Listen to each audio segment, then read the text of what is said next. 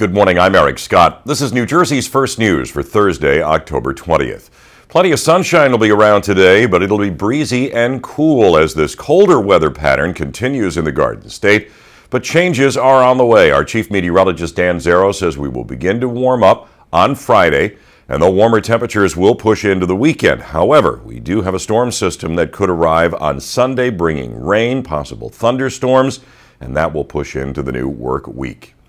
There were plenty of people hitting the Jersey Shore this summer. They just weren't spending like they used to. Those are the findings in a study released by a panel of business owners and industry observers at Stockton University. Jim Ziris with Caesars Entertainment says the volume was there in 2022, just not the spend. Stockton University finance professor Michael Busler says getting enough help, another issue for business. Shore spots also had to battle high gas prices. The prices at the pumps did trickle down just a little bit overnight. Here are the latest numbers from AAA this morning. For a gallon of regular, 369 is the statewide average, though some of you report seeing prices dropping a couple of pennies a gallon at service stations over the last few days. AAA says it's still 12 cents higher than a month ago, and a year ago we were paying 340. But a bigger concern right now is the cost of diesel. That rose another 5 cents a gallon overnight to 576 in New Jersey and those fuel costs get passed on to consumers with higher prices on the goods that trucks have been hauling. As gas prices went up, President Biden's approval rating went down, but the White House insists politics is not the motivating factor between Biden's latest effort to try and reduce gas prices in New Jersey and around the country. The president says the release of another 15 million barrels of oil from the nation's strategic reserve is about the consumer. It's to counter a cut in oil production by OPEC members. U.S. reserves are now at their lowest level since 1985. Biden says he has not given up on lowering gas prices. More testing is likely at Colonia High School as mysteries around a cancer cluster continue to persist. A parent claims she found toxic chemicals in samples she tested herself.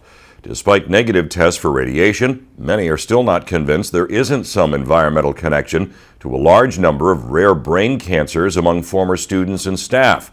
School Superintendent Joseph Massimino sent a letter to parents Wednesday night saying the results of the parents' testing have been presented to the state and they expect guidance on new testing procedures in a matter of days. A New Jersey high school Catholic teacher has been accused and now charged of taking a number of upskirt photos of his students and having a stash of child porn.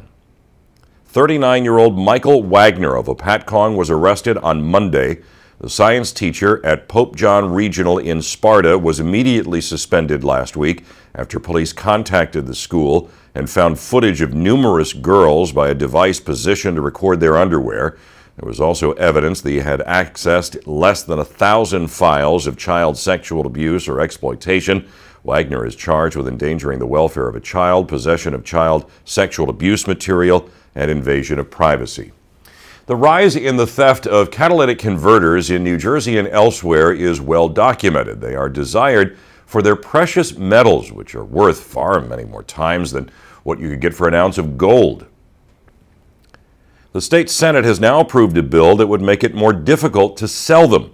It would require anybody selling a catalytic converter to provide the VIN number of the car it was taken from, as well as the title or registration or a bill of sale on a repair. The converters contain rhodium and palladium, which sell for thousands of dollars an ounce. Another food recall, this time it's cookie dough. Nestle Toll House stuffed chocolate chip cookie dough with fudge filling could contain bits of plastic. The products affected have a made of date between June and September and a UPC code that ends in 0012. No other Nestle Toll House products are affected. Terrifying for a Toms River woman who says she awoke early in the morning and found a masked man standing over her bed. He and two others fled when the woman screamed. When police arrived, the house had been ransacked. Another burglary break in a short way away. The residents were not home in that one, but the thieves made off with the couple's BMW after finding key fobs in the kitchen. Police say in each case, entry was made through an unlocked first floor window. No arrests have been made. Turkey is going to cost more for this year's Thanksgiving dinner. Turkey prices up 73%. Bird flu decimated turkey farms, and coupled with labor shortages and higher feed costs, turkey has increased to almost $2 a pound compared to last year when it was $1.15. Have something to say about our top stories? Leave your comments right here. Please like and share this video. And remember, we're always taking your calls, talking Jersey on air on New Jersey 101.5. I'm Eric Scott. That's New Jersey's first news for this Thursday, October 20th. Have a great day.